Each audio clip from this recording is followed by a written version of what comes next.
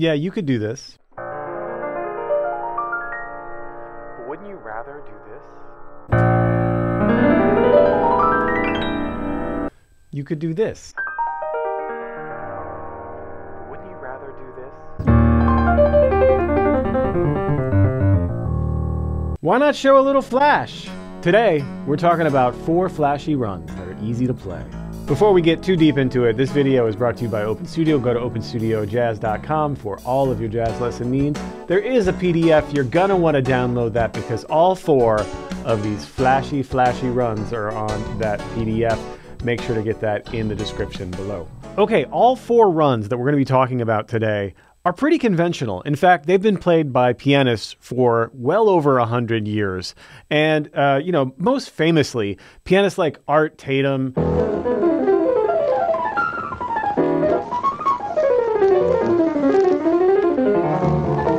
Use these super flashy, super entertaining runs to add that bit of extra spice to their playing. Art Tatum famously uh, just chocked full of these beautiful runs. And there's something that they all have in common that's that they're easy to play. And they are easy to play. All of these things are very ergonomical, they're very pianistic.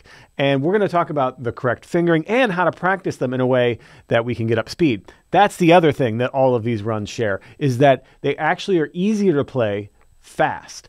The faster you go, the more that rhythm sort of settles in to the run itself. You're going to love this. You're going to sound like you are you could play really really fast on any of these because they just they fit in your hand so well. And like i said once you find that shape and once you find the fast rhythm of it it's a turn and burn. It's a grip it and rip it it's a shake and bake. And you're going to see that starting here on our very first run. All four of our runs today are going to be in the key of E flat. Some of our runs are very difficult in some keys and very easy in others. Luckily, all four of these runs lay really, really well in the key of E flat. So try to transpose some of these to other keys and see what works and what doesn't. You're going to find that there are certain keys where uh, certain runs just fit better. That's why that pianists can play them so fast. They just lay really well in the keys themselves. Number one is the key of E flat. It's a, it's a run that you would play on a five chord as if you're setting up a tune. So you have your dominant seven chord, your B flat seven chord, and it's as if you're, you're setting up the one, maybe at the very beginning of the tune, you just want a little run to set up the key and you give them one of those. And then you're into the key of E flat. So, what is that? That's a very beautiful run. So, this is based off of a flat 9, sharp 11, half whole diminished scale almost. Right? And there's two notes in our left hand and four notes in our right hand. The two notes in our left hand are A flat and B flat, starting on the third finger of the left hand.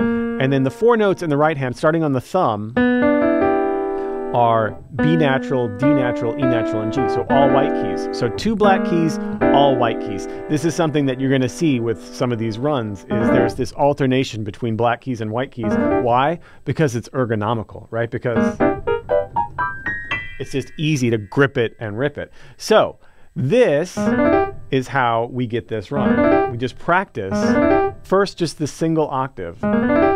So just play through this, just here in this very first octave. Don't worry about going over the octave. It's really a lot about getting the timing between the two hands. One way that we can practice this is with a metronome, and you can start fairly slowly.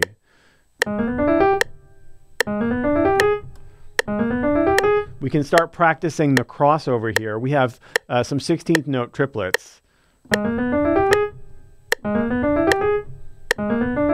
That's a sextuplet there.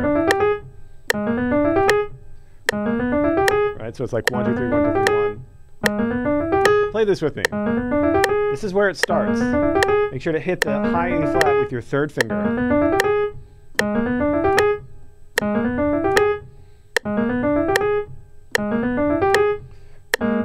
You could also do some blocking practice where you play all the notes of one hand at once get your hand in the mm. position. That's especially helpful when we start going up above the octave. Let's try two octaves. So I was rushing through there. There it is. Oof. Again, blocking practice. Playing all the notes of each hand together and then breaking it up.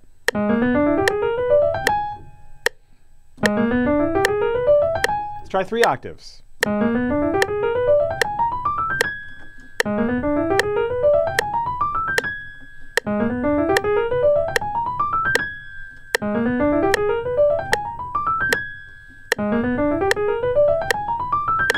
Let's try speeding it up just a little bit. Let's take it up. That was at 76. Let's take it up to 90.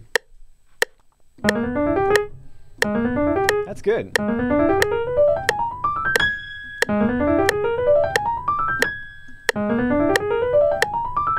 Now is where we take it to the second part. We take the sustain pedal down and we just practice finding some speed. Re- Really, again, focusing on that transition between between the right hand and the left hand. Try to do it without a sustain pedal. Because that really lets you know how clean you can get it. Turn and burn on it. Once it's laid in, you're going to find that it's really fun, and then you can just fly. Beautiful. For number two, we've played our five chord, our B flat seven. What about on a one chord when we get to the one, E flat major? Well, there's a beautiful little turn and burn, little grip it and rip it, little shake and bake we can do here that begins on the third and the seventh of any major chord. Like I said, this is going to lay pretty well in about I think seven or eight keys. This lays really, really easily. Maybe more if you're more technically advanced pianist. But this is so beautiful here. So check this out. It's just a turn where you put your second finger on the third, up a fourth, and then rock it. Rock your, your hand back down through the thumb. And then do that again on the seventh. Right? So two five two one two five two one. It's that same finger. You're going to notice that all of these, it's repeatable fingering, right? That's why we say grip it and rip it because you can. Once you find the shape,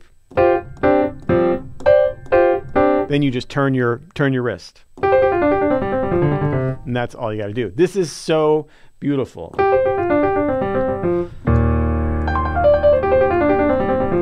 Combine this with your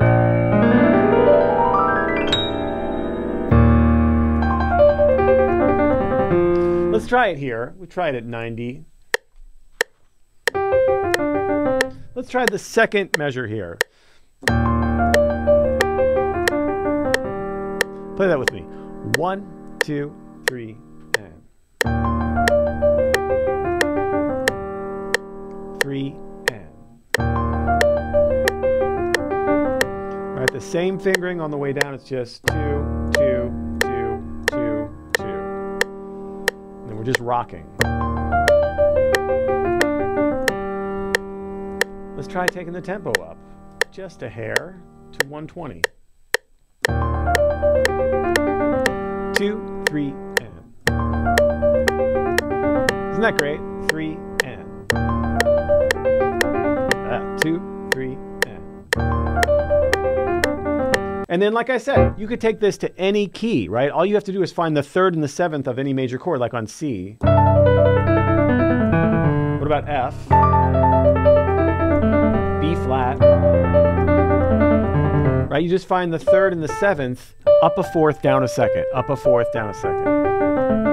Right? So, so easy. And it's all the same fingering. Two, five, two, one, two, five, two, one, two, five, two, one. You can do two, four, two, one if you have larger hands. Whatever's easiest. But it's all about that rocking back and forth, right? Keeping a nice, relaxed, greasy, loose wrist. Sloppy. Isn't that great? And then combining. Imagine you're at the end of the tune.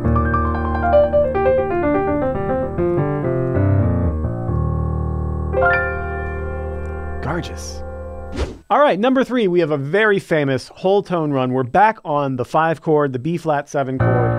And this is just starting on G flat up in whole steps. It's a whole tone scale. Very dreamy, right? Very spacey. And th- this particular whole tone scale uh, is so ergonomical because if you start on G flat here, you might notice in your left hand, three black keys, in your right hand, three white keys. So here in our left hand, we go four, three, two, and then we switch to our right hand, one, two, three.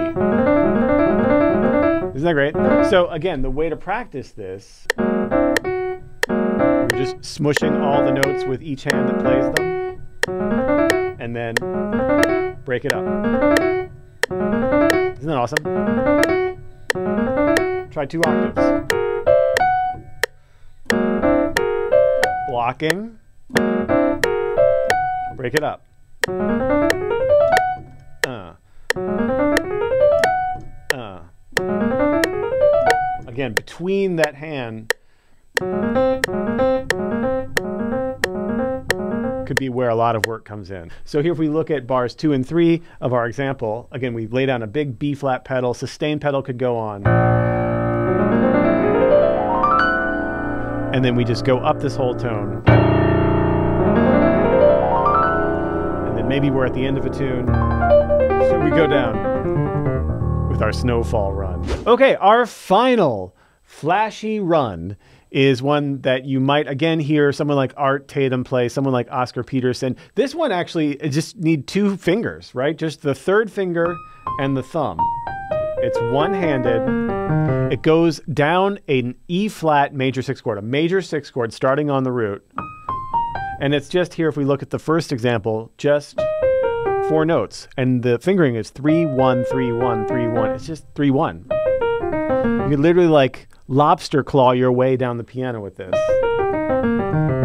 Isn't that great? So you have all these big muscles and you just you need a loose wrist again, a nice greasy loose wrist. Maybe you go up on a whole tone and come down here on your lobster claw.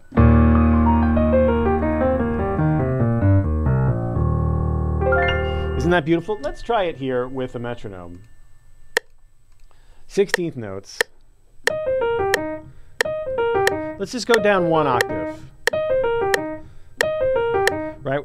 You might you might block it where you play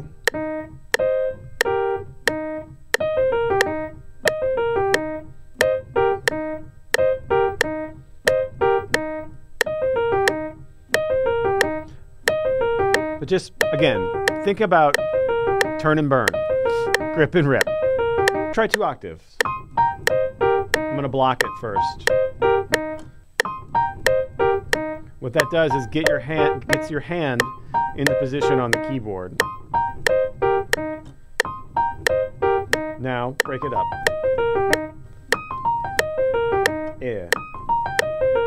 Thanks so much. Don't forget to download the PDF. Don't forget to subscribe to this YouTube channel. And until next time, happy practicing.